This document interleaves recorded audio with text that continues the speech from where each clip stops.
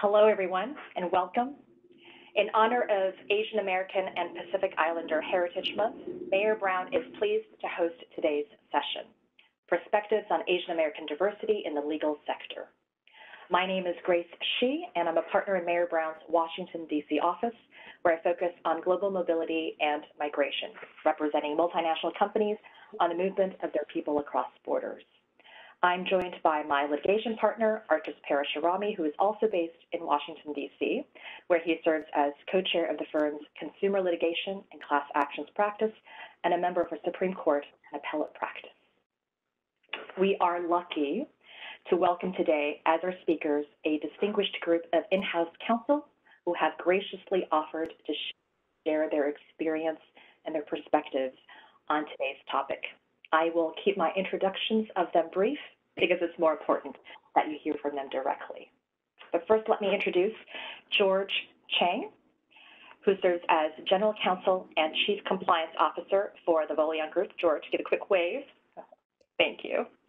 The Voleon Group is committed to the development and deployment of cutting-edge technologies in investment management.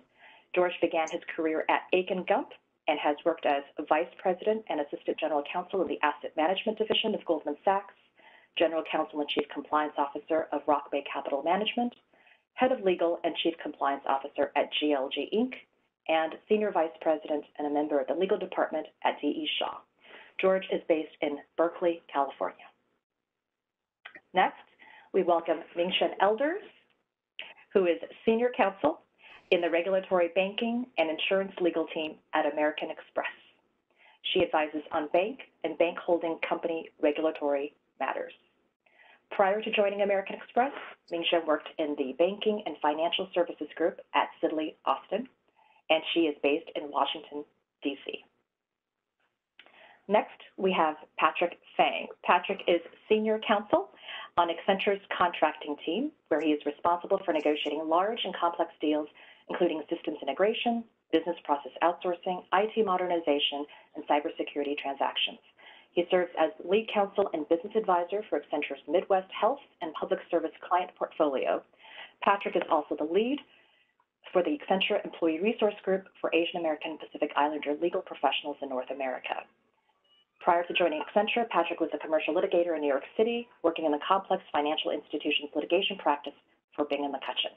Patrick, too, is based in the Washington, D.C. area. And we have Ken Lecroix, currently serving as an executive attorney at General Motors. He uh, leading various strategic transactions with key third-party relationships that impact GM's product portfolio. Ken also supports the EV growth operations team, headed by GM's chief EV officer, to help grow GM's key electric vehicle business, which is a key part of GM's vision towards a future of zero crashes zero emissions, and zero congestion. Thank you to all the speakers for joining us today. We're here today to, to share a dialogue on Asian American diversity in the legal sector. I, I will first invite our speakers to share their personal and professional backgrounds, weaving in the role that their Asian American heritage has played in their lives, in their education, in their careers. We'll then address a few different topics today.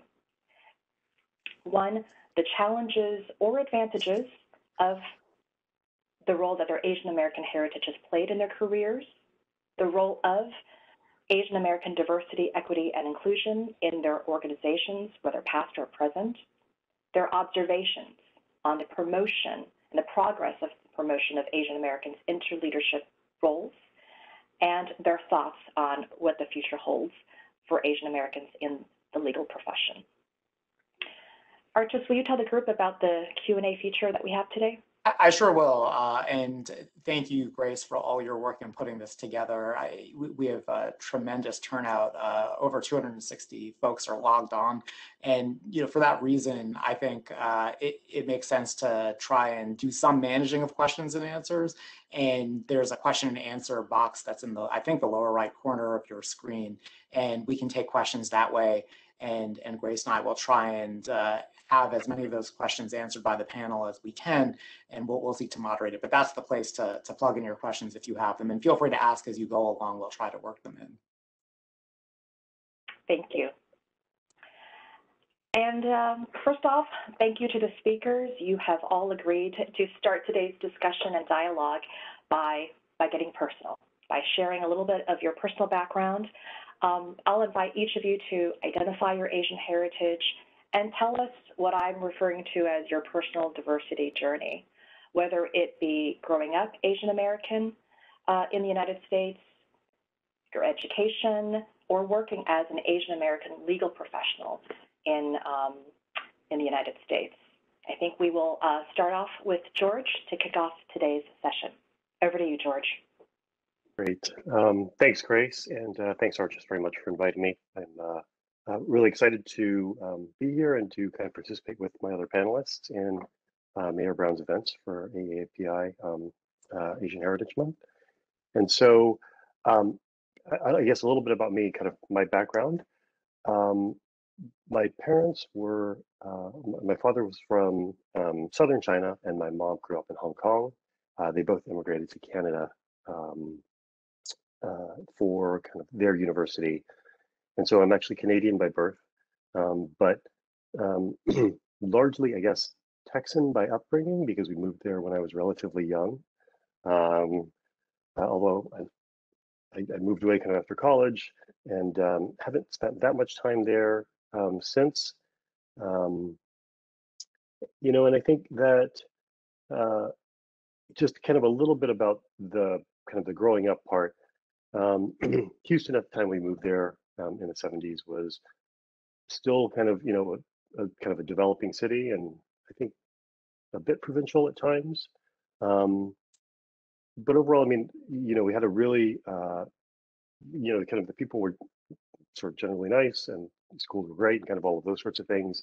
I, I think that one of the things that really, as I was thinking about this question, stood out to me um, sort of as a as an important moment in in my development uh, or kind of I guess the formation of my my um, my identity uh, was when we were in high school and kind of having a you know a nice kind of conversation with a bunch of friends, and um, uh, one of my acquaintances at the time said, you know, I have never thought of you um, as Chinese, and at the time um, I thought it was a compliment, um, but I think I reflected on it a little more, and I think it to me sort of brought forth or brought into relief um, a tension that we face often with um, both trying to fit in to the predominant culture, um, but also trying to um, kind of navigate or negotiate our own identity.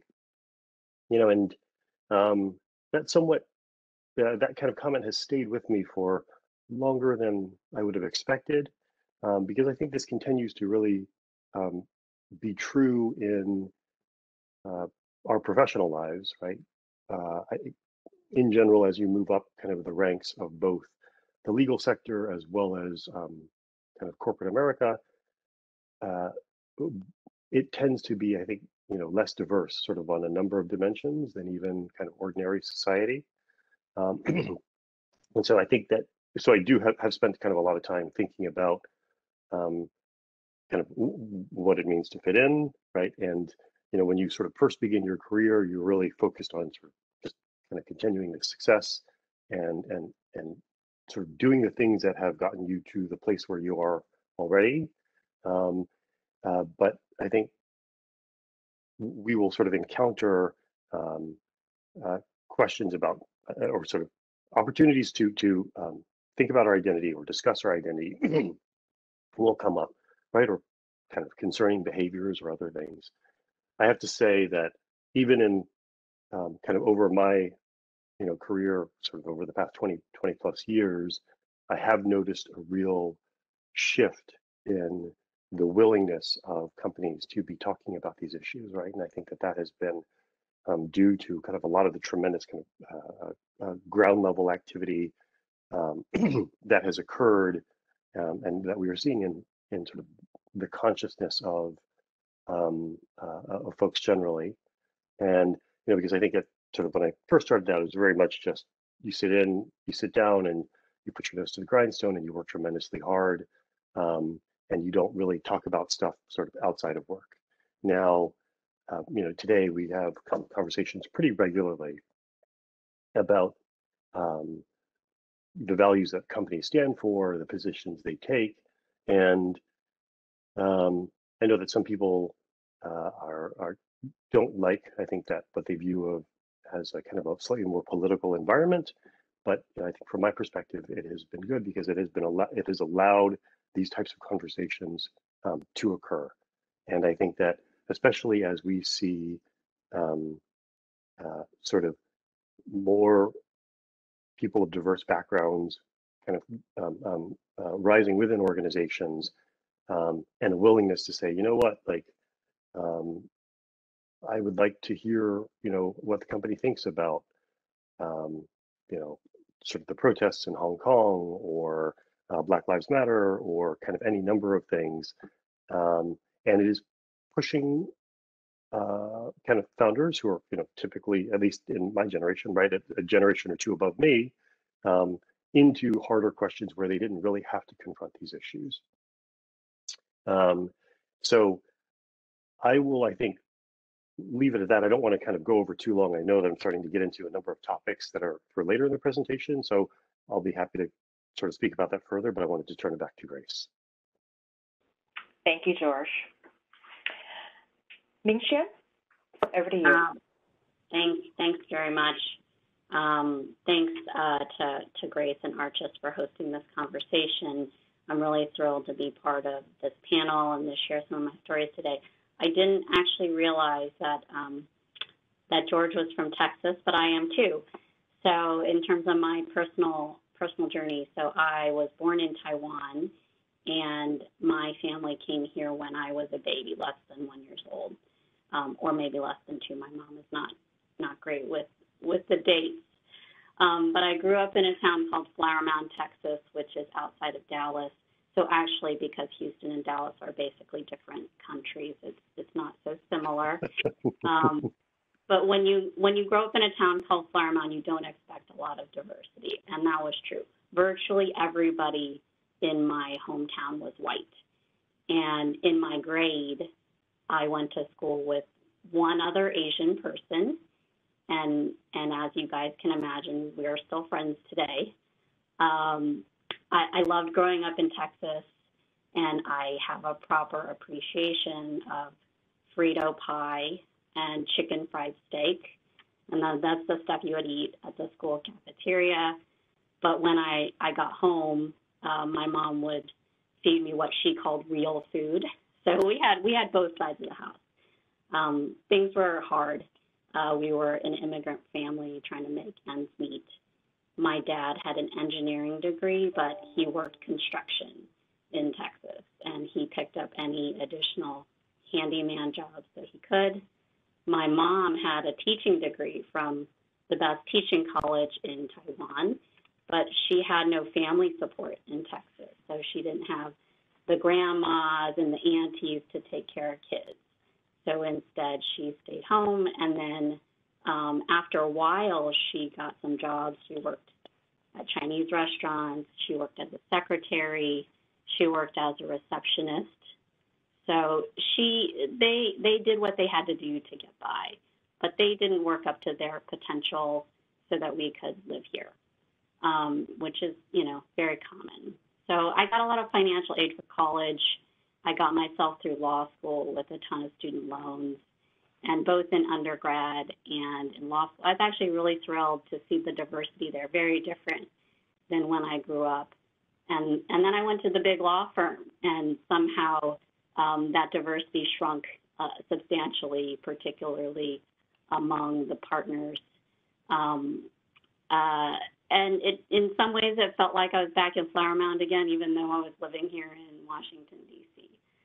So one of the um, early reviews I got from one of one of my white male partners was that I was smart but quiet. And uh, anyone who knows me knows that I'm actually not quiet at all. Um, but there was an expectation that I would be quiet, and so there was a perception that I was quiet.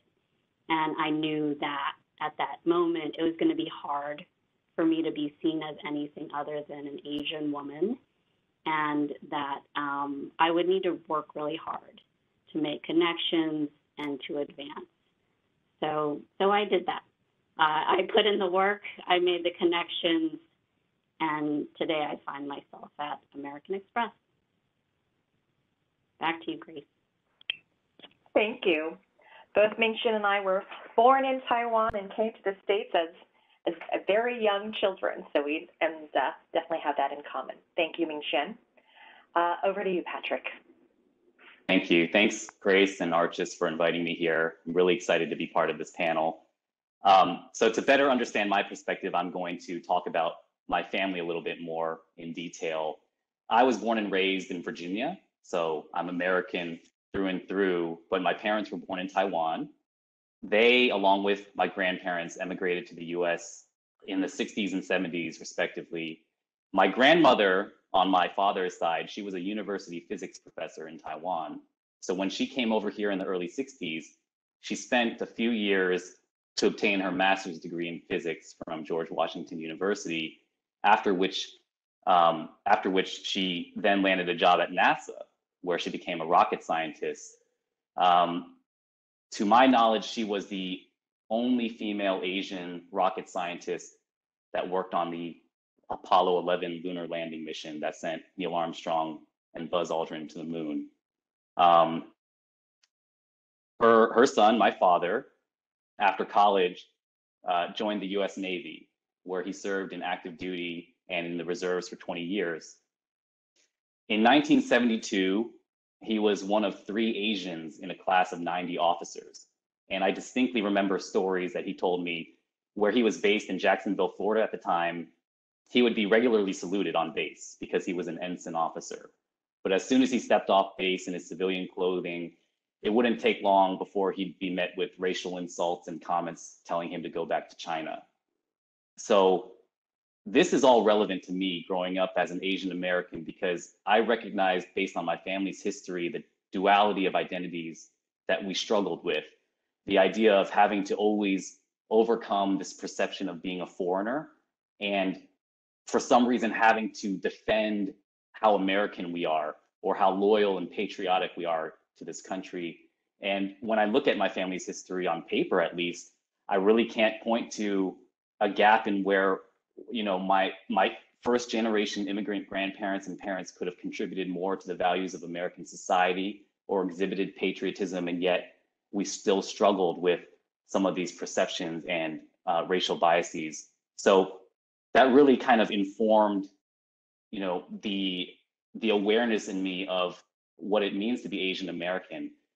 I wish I had joined the legal profession for for these reasons. It wasn't a noble cause at all. I'm going to be fully transparent. I'm actually a product of a different Asian American stereotype.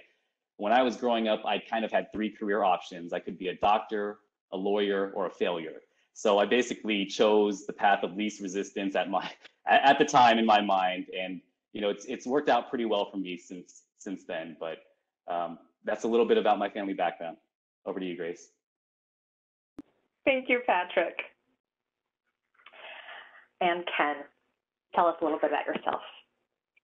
All right. Can you hear me okay? All right. So um, hearing hearing these stories, by the way, thank you both Archis and Grace for for inviting me to this. Pleasure to be here. I'm gonna pivot. Uh, I had I had some points that I wanted to to raise, but I'm gonna I'm gonna pivot to just share a few stories that I think will highlight the the perspective I bring. So I guess um, I will start off with my mother's uh, Japanese. My father is from the U.S. with a background of you know French, British, the the whole mix, uh, along with Native American. So I belong also to the Cherokee Indian tribe.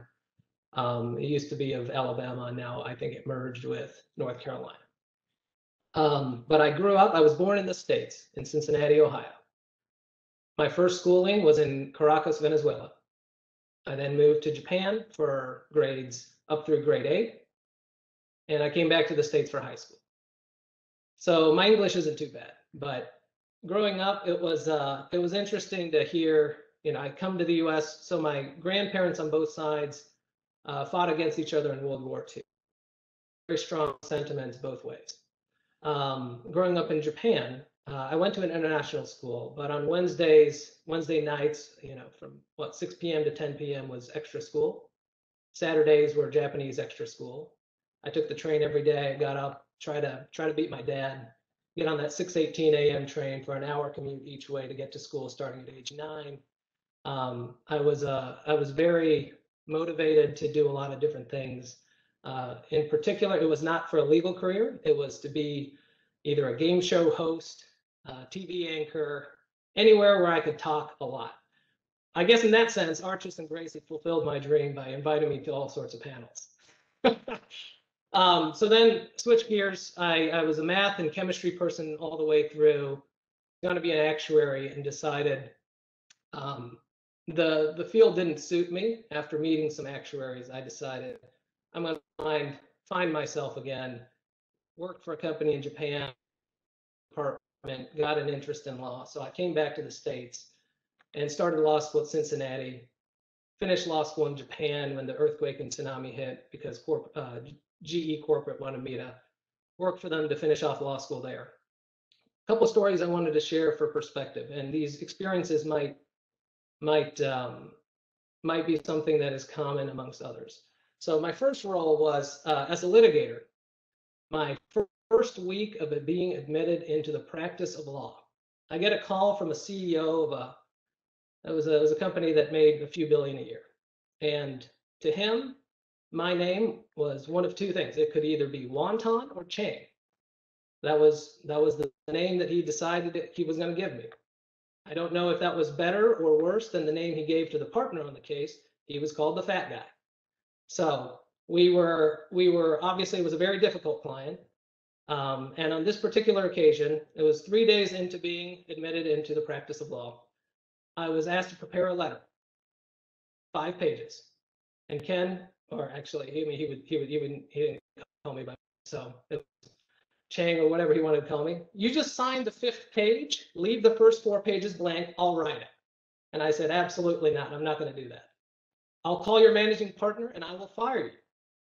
Go ahead. I guess I'll set the, uh, you know, Guinness World Record for shortest legal career. The, the good news is my managing partner at the time, he uh, he decided that we needed to terminate rep and we weren't going to represent this client anymore. So my uh, my career goes on.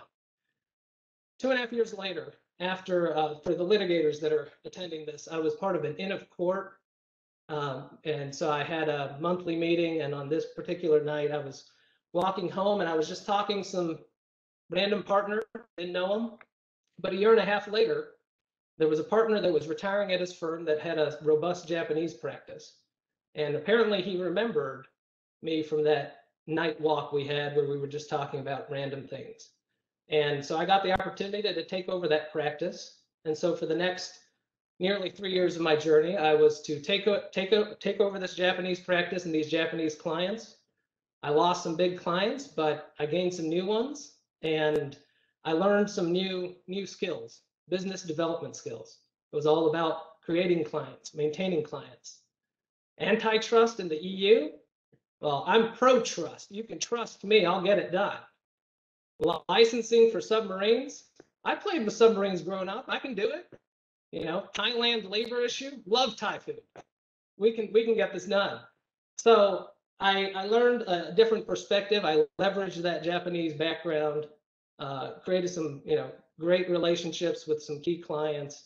It was difficult for me to let that go and join GM, but it's been great at GM. And now I try to spend a lot of my time outside of the substantive work, focusing on diversity efforts, both within GM and outside GM. And it matters to me because people took a chance on it. You know, I didn't have a 4.0 all the way through college and law school. I didn't go to the best school. I didn't go to Harvard Law. But all these different places trusted in me, regardless of the fact that I may not have been a, you know, English major or whatever, uh, or that I was white or not white. They all just trusted in my work ethic, the perspective and insight that I brought, and I continue to apply those today. So again, I'm honored to be here with my fellow panelists. I hope each of you learned something from today's session. Thank you. Thank you, Ken. Thank you to all the speakers. I definitely learned a lot about every single one of you. I'm sure you did. I, I saw Archis and I both nodding vehemently at different um, at different points of everyone's stories. I, I thank you for um, letting the audience get to know a little bit about you, and I think that provides a lot of context for some of the um, the perspectives that you'll offer, but also some of the advice that I'm sure you'll be giving to um, some of the more junior lawyers that are listening in today. Can you, you started this topic a little bit, but what we're going to shift into is um, a, a dialogue on how your Asian heritage or the identity that you've each uh, shared, how that has played a role in your career, in your professional development, whether it has presented challenges or advantages. And I think that depends on, on the, the situation, the setting, possibly the area of law that you, you chose, um, or, or shifted into. Um, you know, one of the things that we, I didn't hear mentioned today, but it's sort of, well, I guess Ken, you alluded to it. If you have a foreign language ability and your area of law or a particular client has need for that language ability, you know, many immigrants and children of immigrants or second or third generations will grow up with a second, possibly third language in the home. And irrespective of that experience is like growing up with that foreign foreign language, that second language, oftentimes a native language capability, it can very much be an extra tool in your, your toolbox and and be a distinguishing factor in your career uh, and with with the work that you do.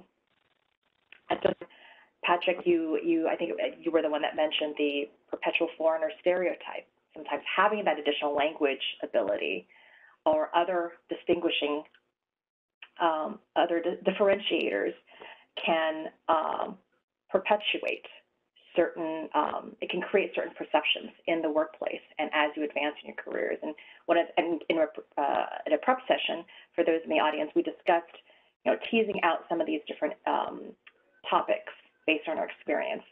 And I thought, Patrick, perhaps you might tee us off on that. Sure. Um, well, I'm not fluent in Chinese. I think I can speak well enough, but if I were to be dropped off in mainland China, I think I'd, I'd have a little trouble getting around. And that's actually kind of a good segue into what I was going to talk about around this perpetual foreigner stereotype, because we didn't speak Chinese in my home. We actually spoke English, and that was intentional. One of the challenges that I um, that persisted in my upbringing and kind of um, bled its way into my early career stages was something that I struggled with that I call invisible minority syndrome. And this is really kind of the, the mindset that I was taught that as a child of immigrants, we need to assimilate as fast as possible into Western culture so as to not stand out. Um, you know, this this can take the, the form di different forms, but basically the principle around it was keep your head down, work hard, let your work speak for itself. That you know, you can pick your your your ancient proverb around the loudest duck gets shot, tallest nail gets hammered down. It's it's partially fear-based, you know, saddled by generations of cultural learnings. It's also, you know, coupled and compounded with the fact that, you know, first and second generation immigrants struggled with this misperception of being foreigners. Um, and so this is something that I had to kind of identify early on and overcome. I think the problem that I found was that there, the fallacy, for example, is that it's not the responsibility of my managers or my bosses to know what I'm working on. It is not fair or reasonable for me to expect them to proactively be aware of my contributions because in a company like Accenture, you have hundreds or thousands of employees. So I found early on my work doesn't speak for itself. I have to speak up about it. When I do so, though, it's not something that puts me in the penalty box. It's about um, letting people know what I've contributed and what I bring to the table and letting them draw conclusions on their own. I think another another kind of cultural influence that inhibits this mentality that I had to overcome is the idea of being super polite, right? Asian Americans, I think Ming-Hsuan, you you mentioned this about the perception of being quiet. There's this kind of expectation that we have to be very polite, um, deferential and respectful to authority, non-disruptive, and and and so if you if you make yourself visible, if you put yourself out there and you're talking about your accomplishments, then it's it can be perceived as bragging, which isn't polite. And so when I when I looked when I stepped back and I looked at all of these things, I realized that this is actually not conducive to taking your career journey into your own hands in corporate America. So, I mean, while it might be great for personal values or family or community values, it's not something that necessarily reconciles with the way uh, career driven and ambitious attorneys in corporate America operate. Because oftentimes you'll find that the people that are most successful are the ones that are, are visible and known. And so what I did was I had to make a commitment to understand in myself how to make myself visible, how to battle this inherent compulsion of not over rotating to being deferential and polite and quiet, um, but also doing it in a tactful way that isn't diminishing the, the contributions of others. It doesn't make me uh, look like I'm trying to steal the spotlight all the time. So one of the key things that I committed to doing and put into practice early on was I decided that I would never leave a meeting the same way that I entered it. So if if someone invited me to a meeting, they obviously thought I had value to add. And so it was my job to make sure I contributed something meaningful. And I wanted to make sure that I left an impression, or at least made sure that people knew that I had attended the meeting, rather than just being a fly on the wall or passive participant. And this is tough because, you know, I applied this even when there were meetings where there were much more senior leaders involved than I was. So it, it does require a bit of tact, a bit of discernment, because it's not about being boisterous just for the sake of being heard. But again, it's it's making sure that I am battling my own internal compulsion to be to to to be reserved and quiet, also letting people know, hey, I'm here. You know, I have something to add of value. And you know, this it's a fine balance because it's not denying my authentic self. It's not denying my cultural identity of being an Asian American and a lawyer, but it it's a practice or a discipline that I that I figured out how to compartmentalize some of the cultural identity that I could leverage as a strength, and then some of the ones that could lend itself to misperceptions. Does that make sense? That's really interesting. To, uh, what did you, can you repeat that again? You all you want to you strive to leave a meeting I, I, different I, from the yeah, I never wanted to leave a meeting the same way I entered it. Was my goal. I like that. That's one to hang on to. Especially the number of meetings I'm sure that every single person gets invited into. But um, that's a very good piece of advice. Yeah. I think that uh, I really liked um, one of the things that Patrick was saying about um, kind of over rotating to politeness, um, because I do think that that's sort of a fairly common thing that, uh, or I guess common among sort of many Asian cultures, I think is, you know, to show sort of a lot of politeness.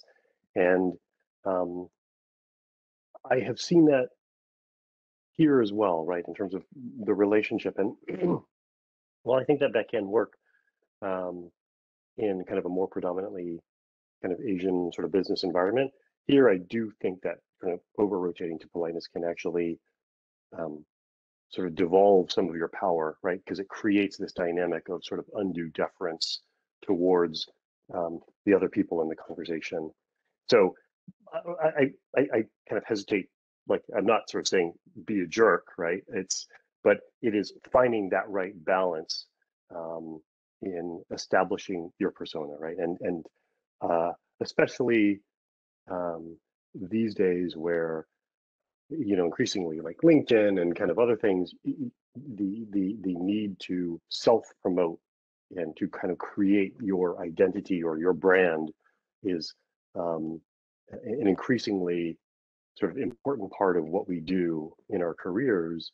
You do kind of have to um, uh, strike that balance right? And and i think patrick makes a really good point about um, making valuable contributions to the meetings that you participate in and you know i've spent sort of countless hours thinking about that like what is the right way to um, to to make a contribution to a meeting right? And sort of not being too early, not being too late, you know, looking for, you know, kind of because the contributions you make to a meeting can help establish your own brand as, you know, I don't know, you know, the big picture person, the really organized person, um, you know, the kind of great at complex legal issues person, kind of any number of things that might, you know, align with your interest. But I do feel like that can be an important um, um, part of, of uh, uh, sort of thinking about the impact of your identity and the development of your career.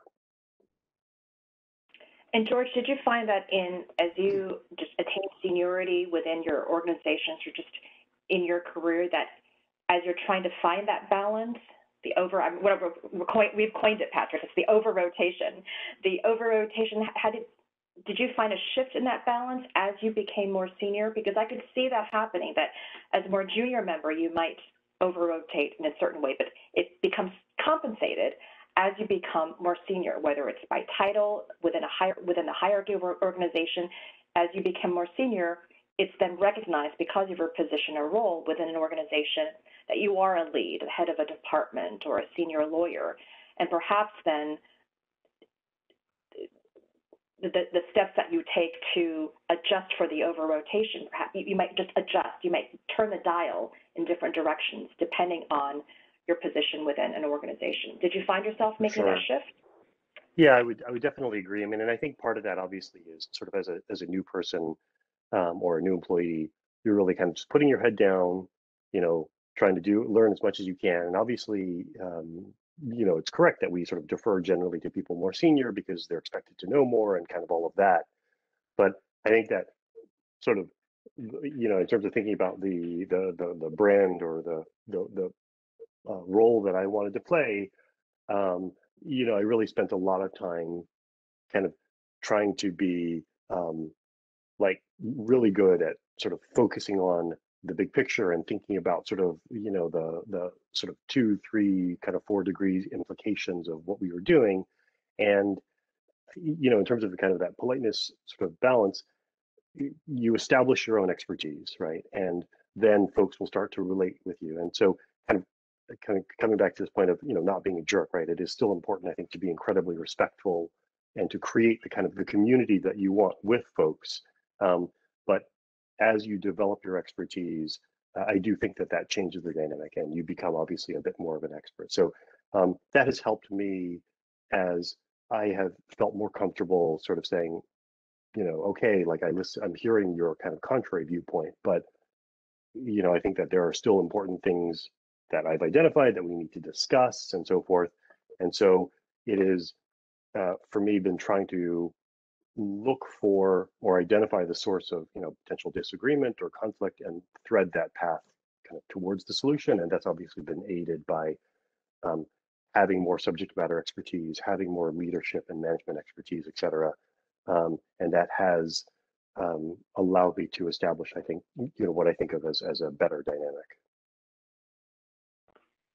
Thank you. So um, I was struck by uh, Patrick's comments, and um, I do think we all have to be very intentional.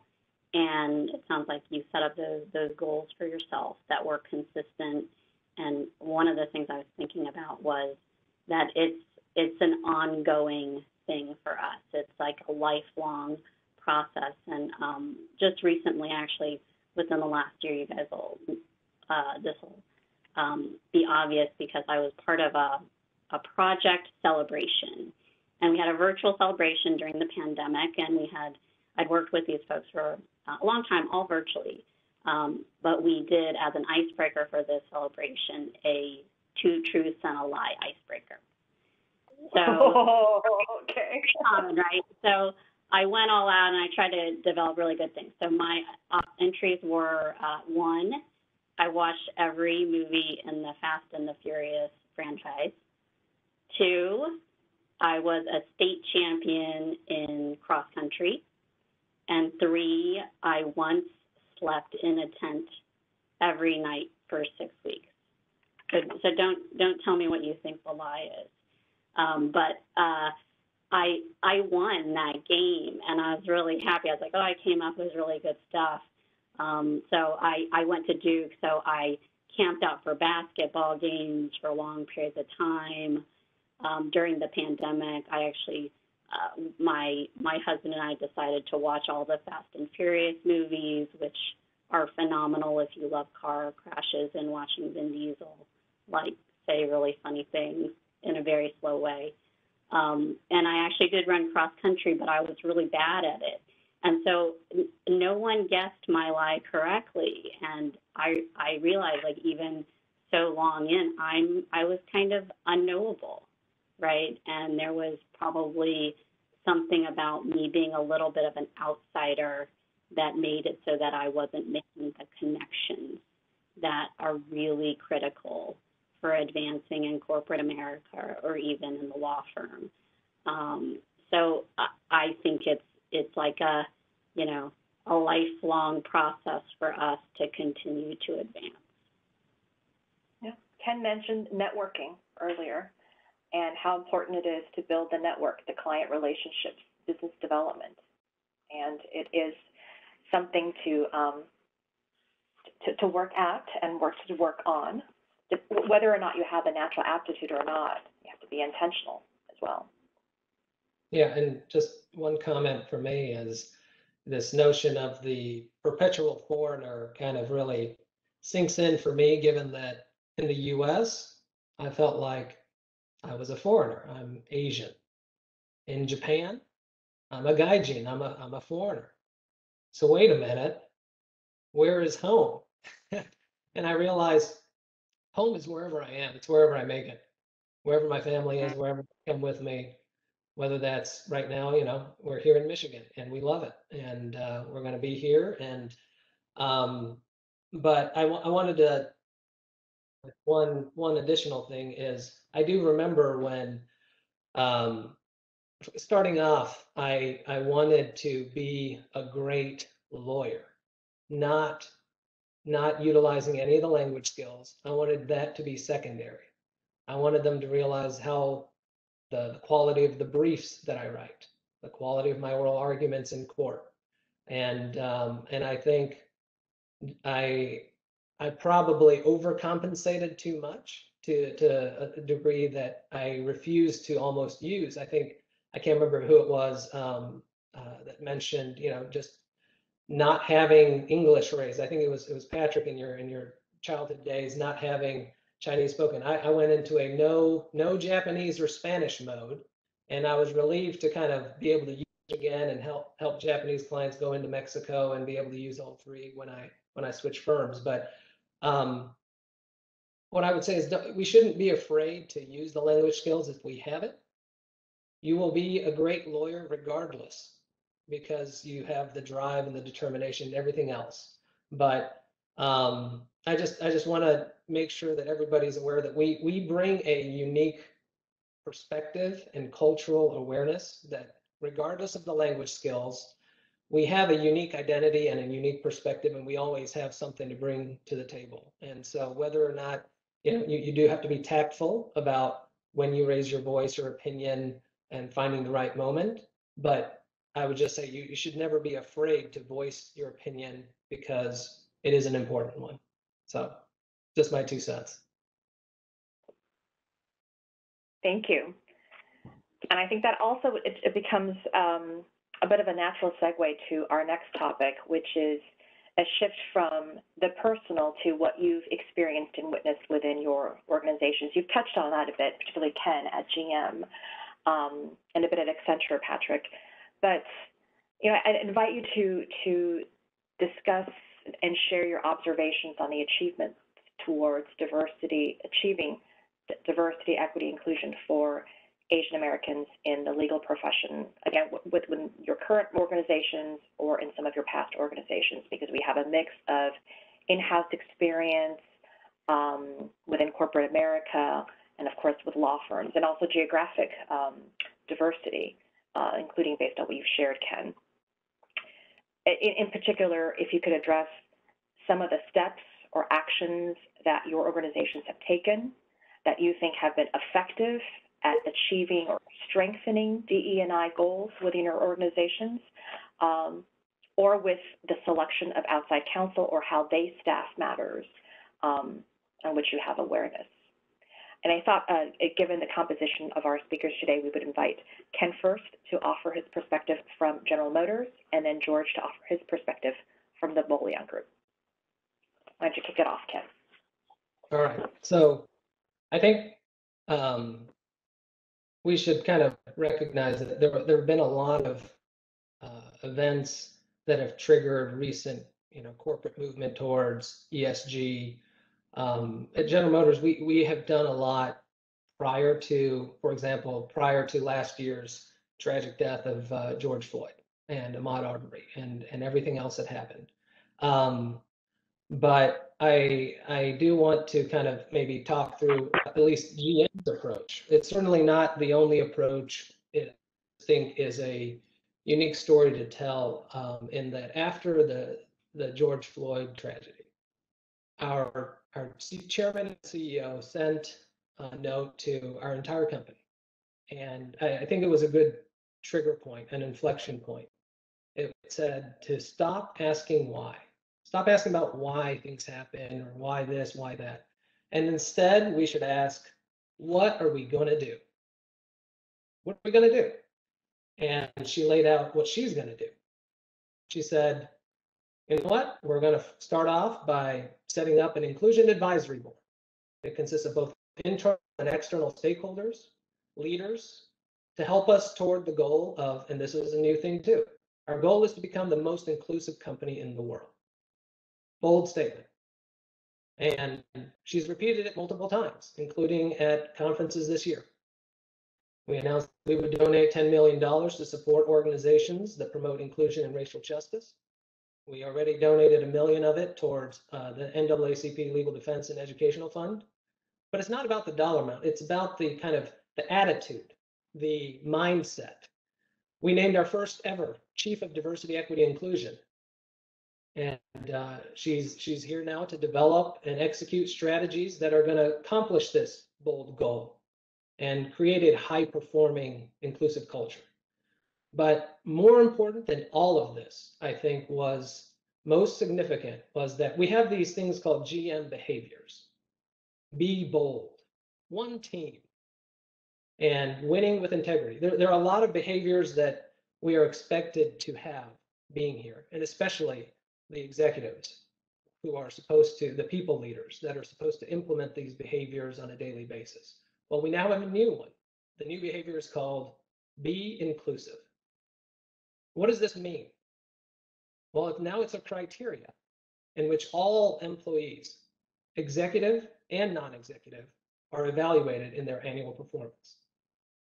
So switching gears to how does that translate for the legal staff? Well, Three years ago, when we signed up our 19 strategic legal partner firms, dwindling down from the 300 that we had, you know, we focused on diversity.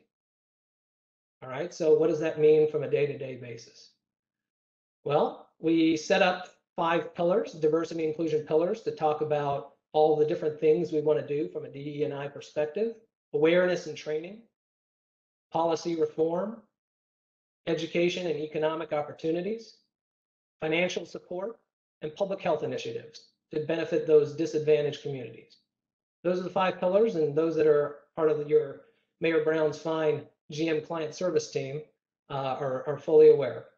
Um, but in addition to collaborating on those, what are we specifically doing about promoting minority utilization? Just let's just take that example, AAPI usage.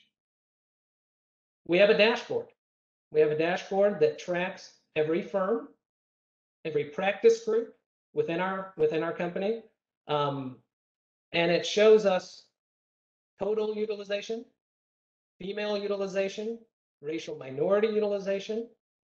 I can go down to if I want to know for our litigation matters, what is the racial minority utilization across litigation matters?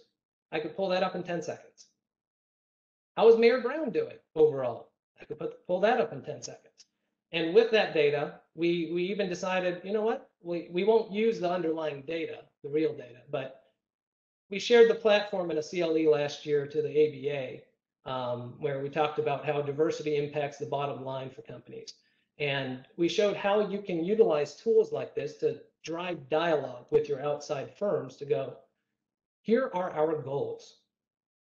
Our, our general counsel set a goal, a target number for how we are going to see and, and see these racial minority utilization figures in particular increase.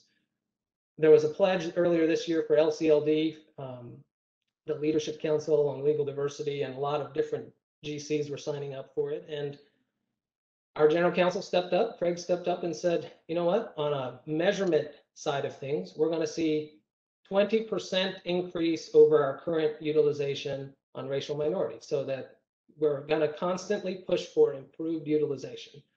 So all that to say, our work is far from over, but I am proud. I'm very proud of the concrete steps that our entire legal team is taking to make a real difference in reducing the racial inequality and bias. And hopefully it will eventually translate into an effort to promote an equal justice for all as well. So I just wanted to share that story and back to you, Grace.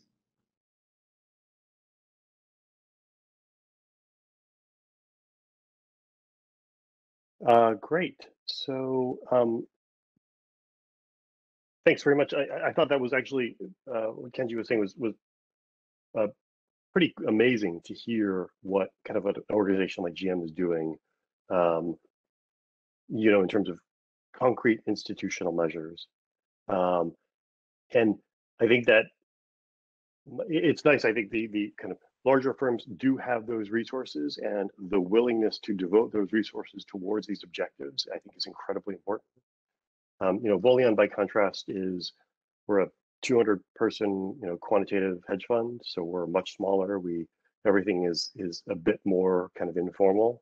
And so um, these processes are, you know, not nearly as mature or as robust because, you know, we're all kind of trying to do everything with, with um, smaller staffing, but I think that even in this environment, uh, we have um, been able to um, find ways or um, sort of techniques to improve diversity within the ranks. Um, and you know, I so kind of coming back to one of the things that um, Ken was saying in terms of you know the the measures for inclusiveness, right, for employees. Um, uh, that's something that really resonates because you know this idea of you know kind of you measure what matters right? Um, and the act of measuring causes sort of greater emphasis. And so i know that there has been um, some people are there's some pushback on oh like you know these kind of uh, the statistics on dei representation in various organizations is you know overemphasizing maybe kind of over rotating towards um, these types of things. And um, but I actually disagree, right? Because like uh, uh, uh, there are plenty of um, uh, sort of everyone will sort of say nice things about like yes we're committed to diversity and we really believe it right but if you're not actually measuring it and saying you know which firms with kind of you know what uh, sort of statistics and are we improving or or um, or not improving like all of that actually will help generate sort of more concrete results and, you know, I think that um, from our side, you know, one of the ways that we really focused on this is hiring, where um, obviously not like saying, you know, look, we're going to hire um, um, sort of, you know, more of a particular race or gender of people, but realizing that when we looked at our pipeline, when we looked at our current composition of folks, um, uh, you know, a lot of, you know, especially in sort of academic, you know, because we're hiring a lot of um, PhDs, like a lot of those uh, of the people we hire are just referrals from other people who have worked in those programs, right? And um, if the program itself reflects sort of has a disproportionate skew, that has an influence on who our folks know and who gets referred in. And so um, we have, you know, done even some fairly basic things that like, you know, junior folks are like, hey, if we're going to go, um, you know, visit campus for campus hiring, uh, let's reach out to all of the affinity groups or you know the women's groups and others and just let them know that they should submit and come in for an interview right? So we were trying to do things to kind of just increase the pipeline and get more folks in. Um, but I think also something that we've thought about is kind of cognitive bias in some of the processes that we do, right? So, you know, a standard oral interview um, tends to prioritize people who are sort of good at thinking on their feet, who may be kind of charismatic and kind of good talkers, all of which are valuable skills, right? But doesn't necessarily um, prioritize or demonstrate other aspects of a person's ability. And you know, for many of us, a lot of what we do is heads down work in sort of deeply analytical um, kind of thinking, but that doesn't come out as much during an oral interview. So um, something that we've shifted to is um, we give um, uh, kind of hypos or problems to people, right? So if they make it to a certain point in the process, we actually give them homework and say, uh, before your next meeting, we would like two to five pages um, to answer these three questions.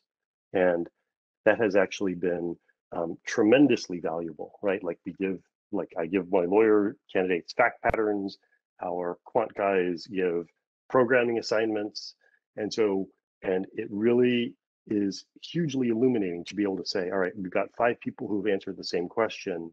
Let's compare, you know, the analysis, the presentation, um, and kind of all of those things. And you know, and the the you know, kind of Google did a study about this, right? What is sort of the the best predictor of long-term success and performance at a company?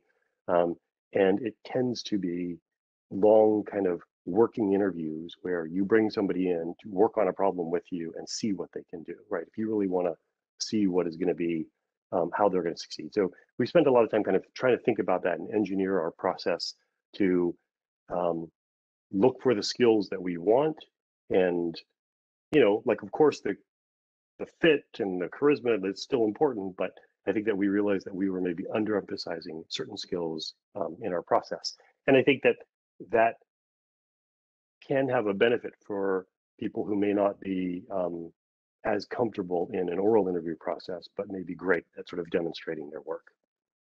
Um, and you know kind of similarly um, something that we're not as fond of in our firm is kind of brainstorming meetings where because it tends to sort of reward people who again are good thinking on their feet and advocating for their positions in sort of a competitive environment right but we're, when we're really looking for the best solution to a particular problem often we've said everybody has 30 minutes of homework before this meeting where you are supposed to think about this submit your ideas in advance and then the purpose of the meeting is to then, you know, people will, will have reviewed the ideas and then talk about them during that meeting.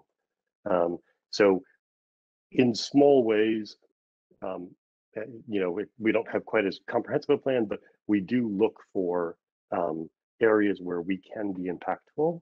Um, you know, and the reality is is sort of hiring, like bringing talent in and keeping talent are, you know, probably the most important thing that knowledge companies can do. And so we have Yeah. sort of spent some of our resources on that. Um, so that's it. I just really wanted to. Yeah, please go ahead, uh, Patrick. yeah, yeah, no, I just wanted to build off of uh, George's comment about hiring because the, you know, for me, the next part of the equation is retention, right? Because our topic today is what, what can be done to advance the promotion of AAPI attorneys. And we know that the data bears out that for employees that have a sense of belonging, they are more likely to stay at their company.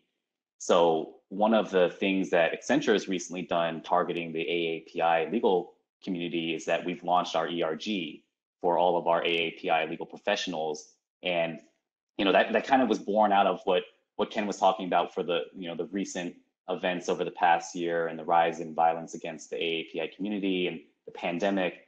And we just saw a need that there are so many legal professionals in North America that share cultural and ethnic commonalities, and they just need a safe place to come together and share their stories and recognize that they're not alone.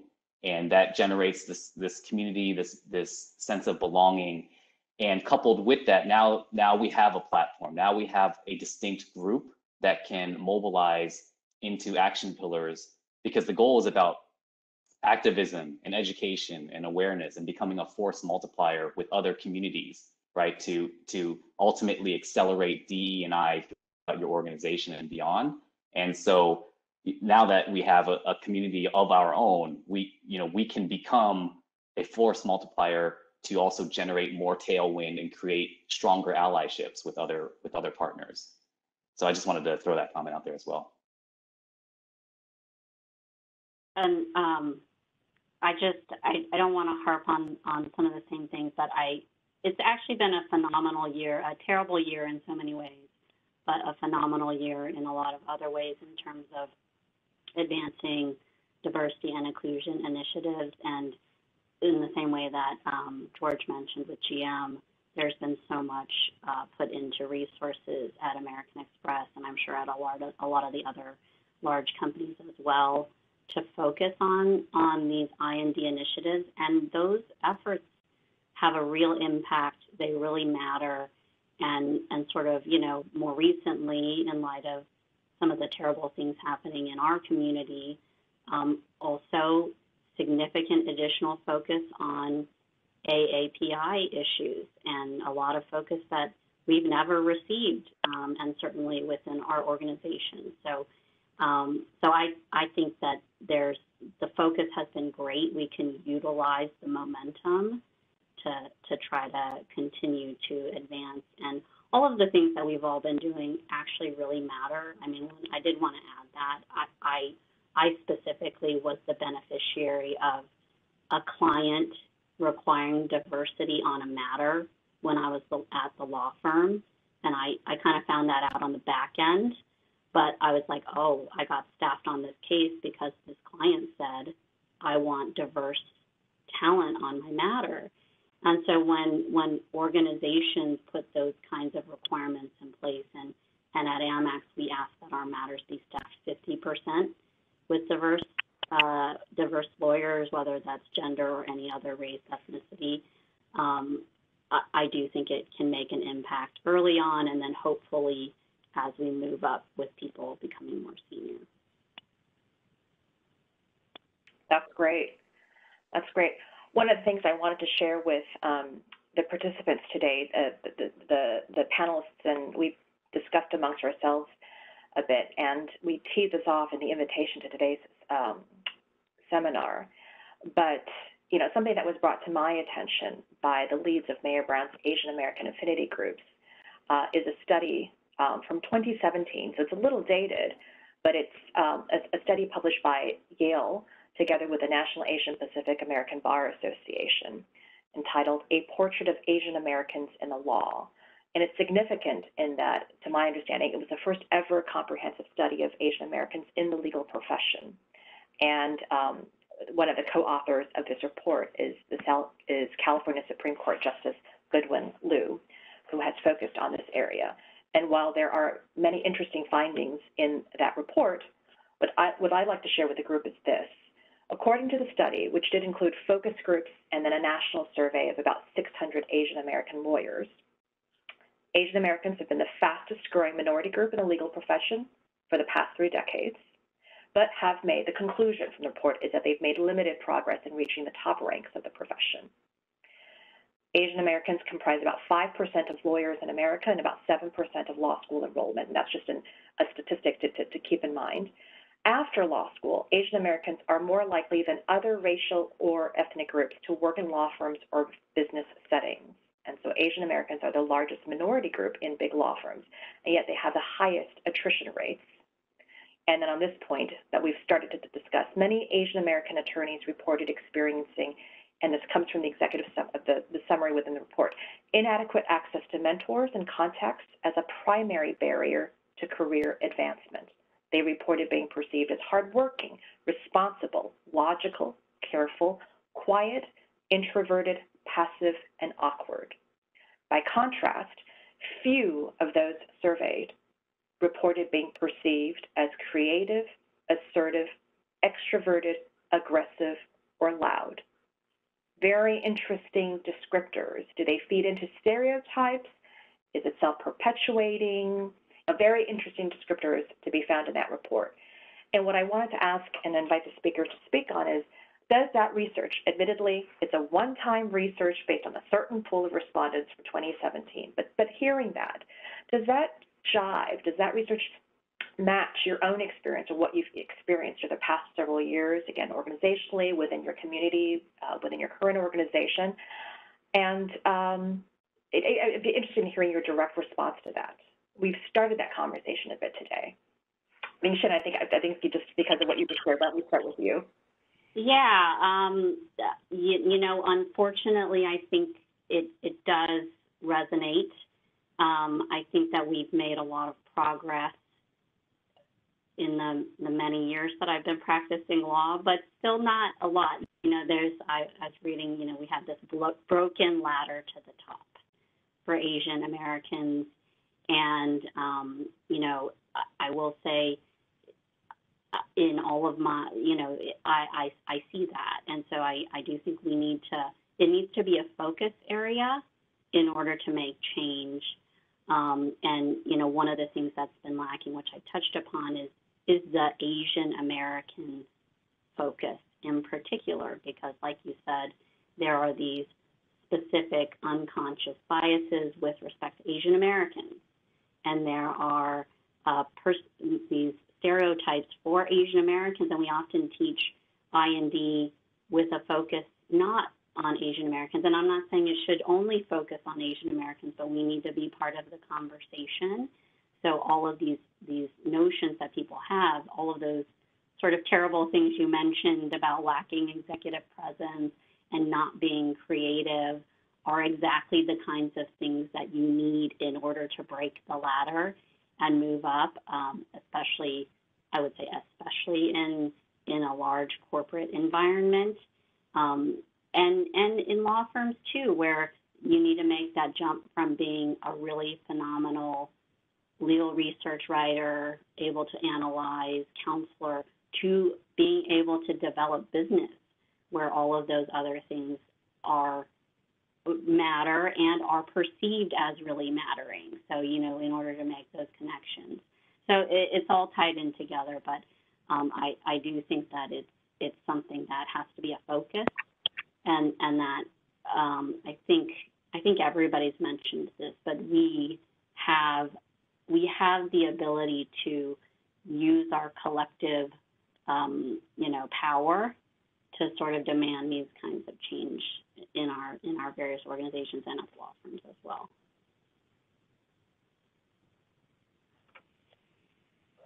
Ken? Sure.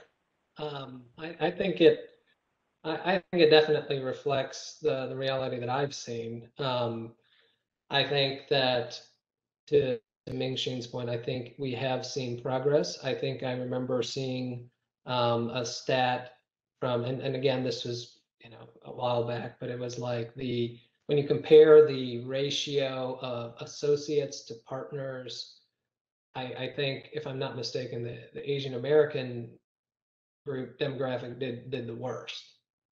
And so we have a large contingent of associates and uh, very few partners to, to go with that. So um, and even though this data is from you know the years between 2015 to 2017, 2018 timeframe, um, I I'm starting to see some some you know improvement along the lines, but I do think that there is um, some level of I, I, have not seen it at GM and certain other companies, uh, but overall, just based on the the continuous dialogue I, I have maintained with people outside of GM, it it is at least felt. It is it is at least felt within law firms, within companies that somehow they can't get over this hurdle of why is it that you know I'm putting in more hours, I'm you know I'm sleeping in a sleeping bag in my de- under my desk, I'm doing all this, and uh, what, why why is it that these other people are getting promoted to an executive role or uh, partner role, but not me. And so I, it seems that sentiment still is uh, pervasive and, um, but there are, we have ideas, I think, of, of maybe tips on what, how we view getting through that barrier. So I'm, I'm sure we'll talk about that in a second, but I'll, I'll just stop there. Well, what, what do you think would make um, the difference um, or so, so some suggestions for, for promoting, um, or advancing the promotion of Asian American lawyers into leadership positions. I mean, some of the, the, the feedback from, or the, the, the findings from the report are, are the lack of, I don't know if it's lack of access, I guess it's that lack of access to mentors and contacts. Are there any suggestions or tips or advice on that? Okay, yeah, well, we can we can dive right into it. The um on the on the early stage front, I mean, let's just just so we kind of go through the entire chain. I, you know, one example of making sure there is interest in the legal profession. Um, I remember I had uh, we were a gold sponsor for an event. We had 10 tickets. We had five taken, um, but we had five extra tickets and I decided, you know what, why don't I just reach out to five local law schools and I'll just randomly invite an AAPI law student to join us. There's, it's like a big conference and they can meet all sorts of law firm folks, in-house folks, and um, and give them a sense of what it's like in the real world. There's very few law students at the event. Why don't why don't we just invite them? And all five law schools I reached out to said, absolutely, we'd be thrilled to have somebody join join your table in the conference, and all the way through to kind of um, the the current topic of how do we get them more visibility and opportunities.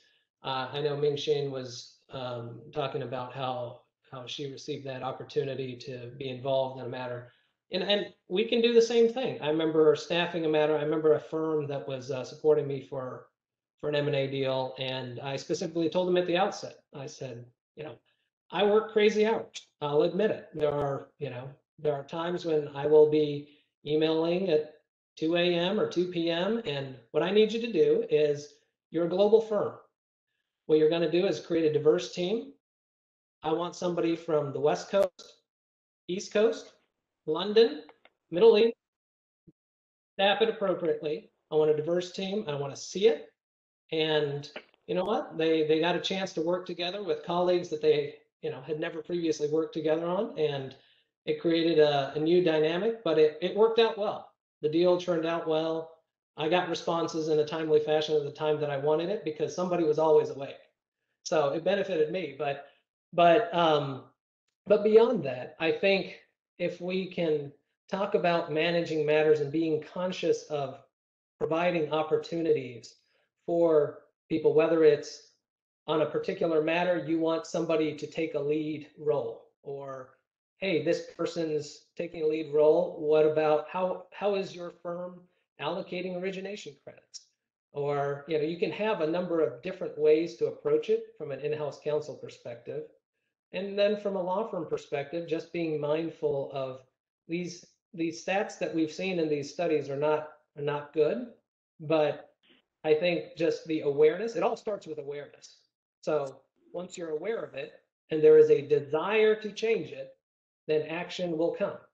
So if, if there is no awareness at your organization, I would say start with that and then develop that into some action plans and slowly promote kind of a more inclusive, diverse workforce and uh, you know law, law firm associate partner, whatever the case is, just the more they're utilized, the more prominent of a role they get, the more likely at the end of the year when the partnership discussions are taking place, the more likely they will become partner. And in the executive role for in the corporate environment, there's there's going to be uh, a number of other, you know, um, it's not all about billing and origination. It's going to be new factors and other other kind of factors play into the equation. But um, you just need to find out what those behaviors are and find a way to create those right mentors and people that will back you up when it's time for that opportunity to, to go to the next level. So I, I don't want to dominate the conversation. I'd like to hear what the others have to say.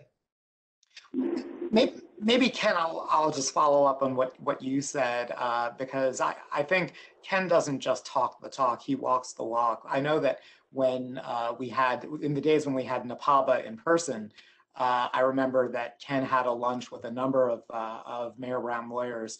And I, I, think it just helps enormously because uh, the group of us who had that lunch, in addition to having this terrific conversation, both about GM in general and diversity efforts in particular, but we could bring that back to the law firm and let let our colleagues know about this relationship. I, I think it helped uh, some of our associates who are up for a partner to be able to demonstrate, just as an example of their many connections, that but this additional connection.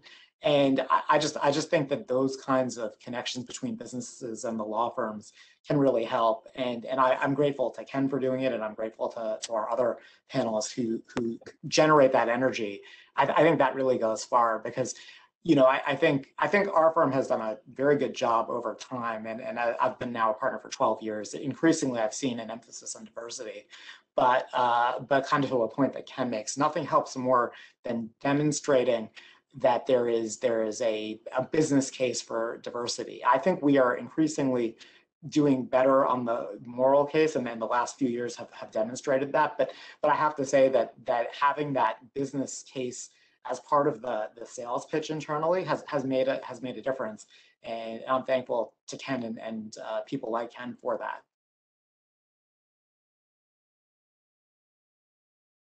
No i was um, thinking a little bit about or kind of reflecting on what um, Ming-Hsuan was saying in, in terms of the um, kind of the diversity requirements that you know had been put forth on some of the staffing assignments. And um, you know I, I think it is it, it's a great forcing mechanism right to get people in front of an audience right that might not always be there. And it's a great way to kind of force your outside law firms to have that conversation about who they're staffing on their deals and so um, you know i know that that people might think of it as kind of like a blunt instrument, right? Which it is, right? But I, I think it, I think we've all seen sort of that representation matters, and sort of having people, seeing people on teams, and kind of working with them, you know, absolutely is critical, right? Because that's how you form the relationships and all of that sort of stuff. Um, you know, as I was thinking about this question, you, you know, kind of thinking about sort of my own career, I think from a more personal level, um, it, it's kind of coming back to something that Patrick was saying, where you know we really believe that kind of putting our head down and doing the work would be the path to success. And you know, after doing that for many years, kind of early in my career, I um, quickly realized that it is a necessary but not sufficient condition, right, to do the hard work. And you really do have to um, develop the additional skills, or you know, we kind of we know what the missing ingredients are, and I think that relatively kind of quickly after I kind of came to this realization that you know toiling away and billing whatever it is 2500 you know hours a year was just like like it gets you something right? But not nearly as the, the benefit it gets is not nearly worth the cost it imposes on your career versus spending a couple hundred hours doing something else um, and focusing on the skills that you need whether it is kind of networking or you know presence in meetings or kind of all of those other things. And so um, you know i i tend to kind of think in sort of you know five year plans and i would really sort of say like where do i want to be you know five years from now and what is it going to take for me to get there and what skills do i not have or connections and other things? And so i do think it is important for the individual to kind of continue to develop in those areas so that um, you know, when the opportunity comes along, right? It's sort of a, you know, I don't really believe in good luck, but I believe in making your own luck, right? And being ready when the opportunity arises to have kind of the necessary skills or to kind of seize on that moment. Well, on that note, in terms of reflecting on the past and then looking into the future, but hopefully it's a, a bright outlook. I think I think Ken already mentioned sort of some of the, the change that you've already seen since the the, you know, the, the, report that we've been talking about is based on 2015 studies from the time period 2015 to 2017. But what have we observed in the past four or five years, and what do we see in terms of the, the future outlook for Asian American Pacific Islander lawyers, you know, in, in this profession? And what I'd like to close with is is to ask each of the, the speakers, how do you see the legal profession changing for Asian Americans who are practicing? in terms of achieving diversity, equity, and inclusion within their organizations? What role do you see we, and this is the collective we, we have in-house counsel represented here, buyers of the work as well as providers of the work. We've talked a little bit about staffing and demanding that staffing, you know, reflect a certain composition. Yeah, what role can we play collectively in moving that needle and in the positive direction. And sounds like it's continuing to move the needle in that positive direction. And this is a bit of a grab bag of questions. If you did have one piece of advice for the, the junior lawyers um, who are listening in, who are attending today's session, what would that advice be? We've touched a little bit about mentorship. Um, I, I, really um, I take note to Patrick's um, comment about not leaving a meeting the way that you entered it. I wrote that down to share with my team, but I would like to open up uh, the floor to uh, that last topic. Perhaps we'll ask Patrick to speak to this first. Sure. I'll, I'll just I'll just make two final points on this. Um, the first is, as lawyers, our sphere of influence is massive, right? We we have the attention of the media, business leaders, politicians, legislators. So the opportunity is there, and and we're at a cultural turning point like I've never seen before, where the focus is on DE and I and AAPI community in particular. So if you're the only Asian lawyer on your project or on your team, don't bemoan that as evidence that your workforce is lacking in diversity. Take that as an opportunity to be the, the mouthpiece to share the stories and amplify the delta between the excellence that Asian American lawyers produce and the disparity uh, in how we're perceived or treated. So you have to have those hard conversations. You have to share your stories in order for uh, allies to understand what we've struggled with. And the second point I'll make here is this, DE&I to me is much broader than just AAPI.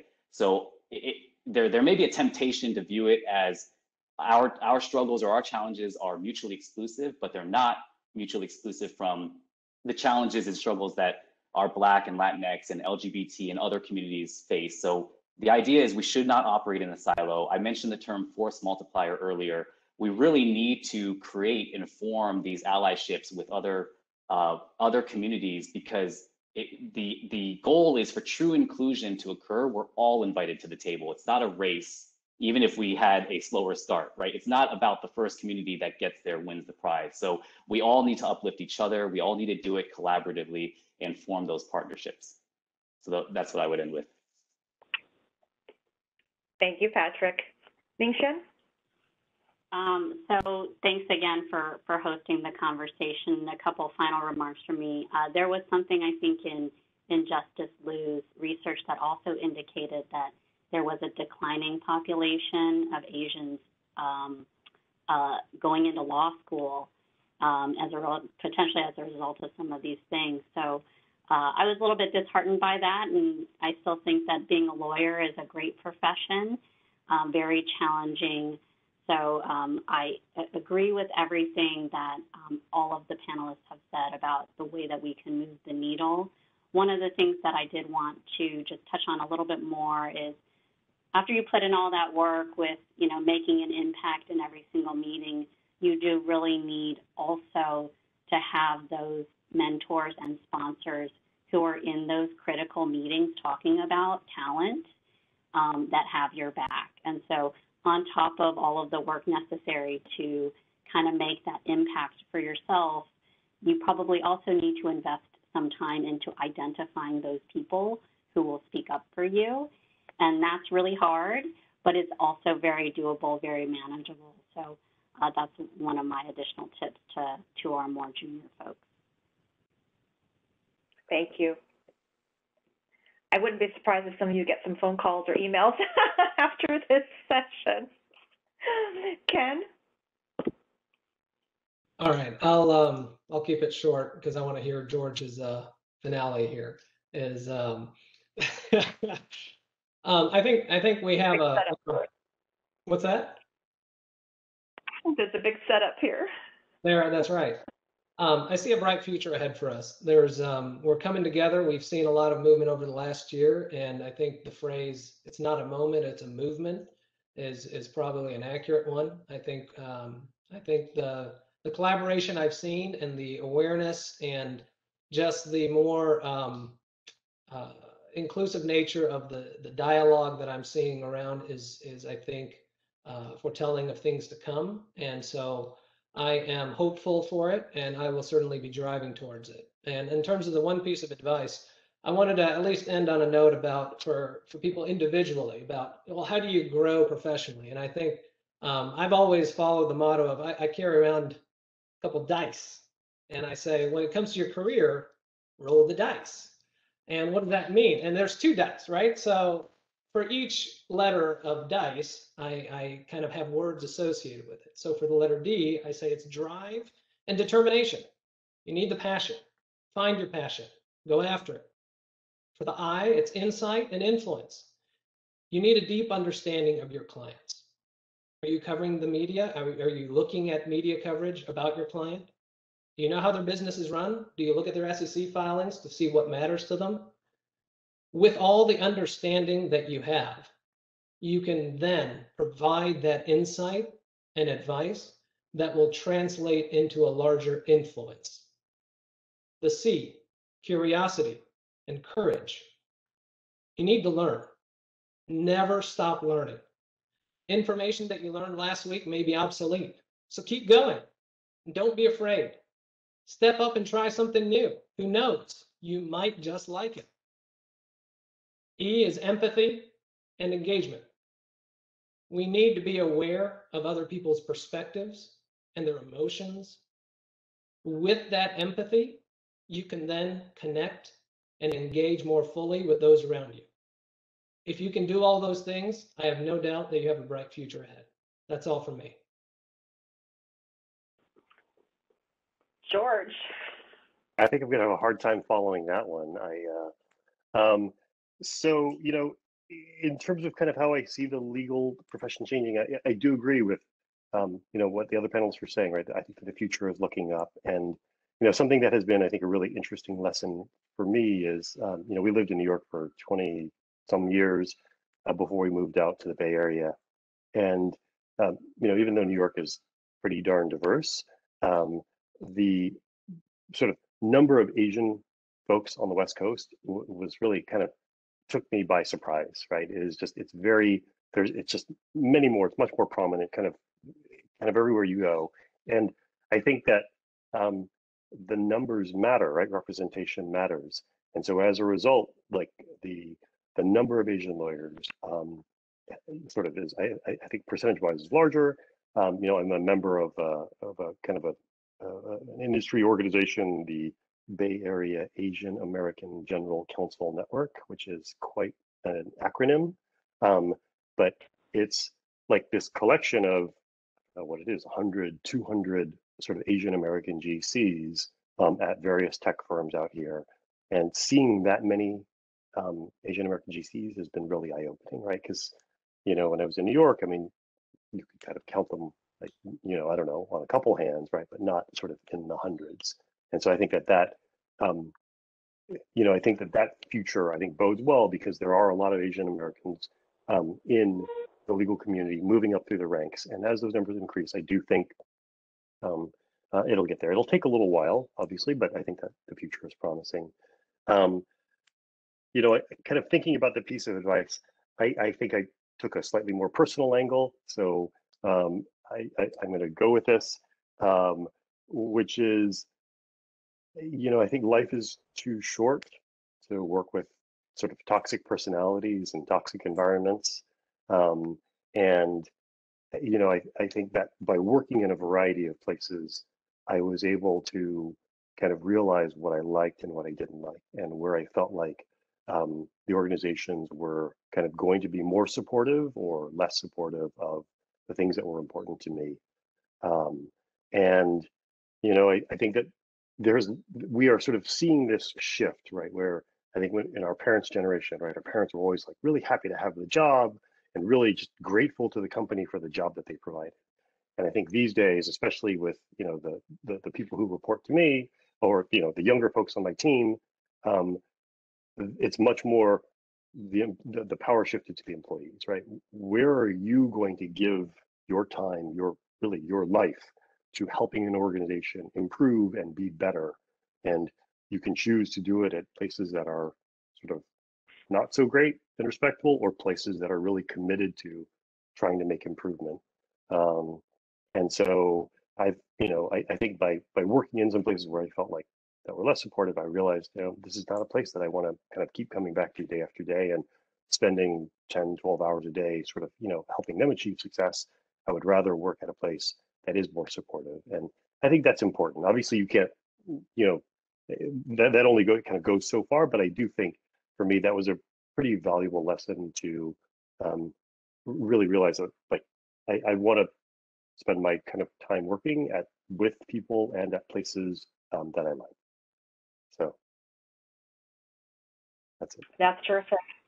Thank you, George. Thank you, Ken. Thank you, Ming-Hsuan, and thank you, Patrick, for joining us today. We uh, have done really well on timing. We were exactly at 1:30, uh, well, maybe 1:33.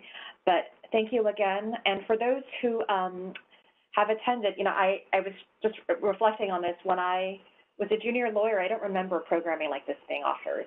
If it was, it certainly, I, I certainly missed it. And I hope that the availability of this type of programming is helpful. And I could see us putting on a part two, you know, shifting the topic.